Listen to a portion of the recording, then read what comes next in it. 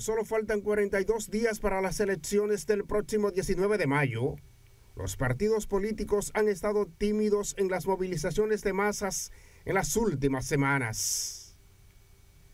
Ya cumplido todos los plazos estipulados en la ley electoral, los partidos políticos confrontaron problemas para completar la cuota de géneros en la conformación de la boleta congresual y al Parlamento Centroamericano.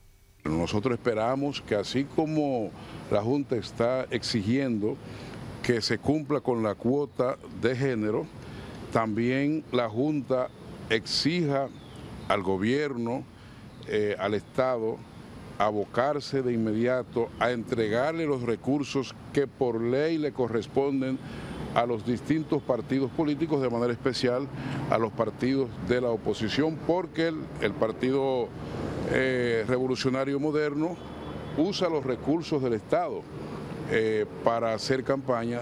Una de las batallas libradas por los partidos de oposición es que la entrega de los fondos que le corresponden por ley sean entregados cuanto antes y no 48 horas antes, como ocurrió en las elecciones municipales.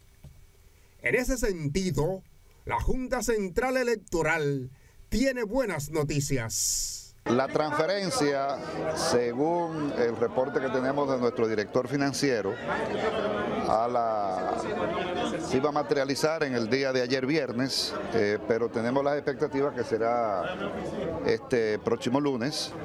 Ustedes saben que hay trámites administrativos de Estado que hay que realizar. Inmediatamente lleguen los recursos, nosotros haremos la distribución correspondiente acorde a lo que establece eh, la norma y nuestras resoluciones. Ya todo está formalizado. Según la Junta, el proceso electoral va viento en popa. Los partidos políticos como el de la Liberación Dominicana han estado realizando asambleas sectoriales motivando sus artillerías con miras a fortalecer el voto. En iguales acciones ha estado el Partido Revolucionario Moderno, que además de su papel de ambulancia recogiendo los heridos de la oposición, realiza reuniones estratégicas internas, como la reunión de la cúpula para cargar en sus hombros la candidatura a la senaduría de la capital de Guillermo Moreno. De igual forma ha estado el Partido de la Fuerza del Pueblo con sus candidatos, donde Leonel Fernández ha estado haciendo encuentros puntuales con el fin de fortalecer su maquinaria. Para proceso, Félix Montán.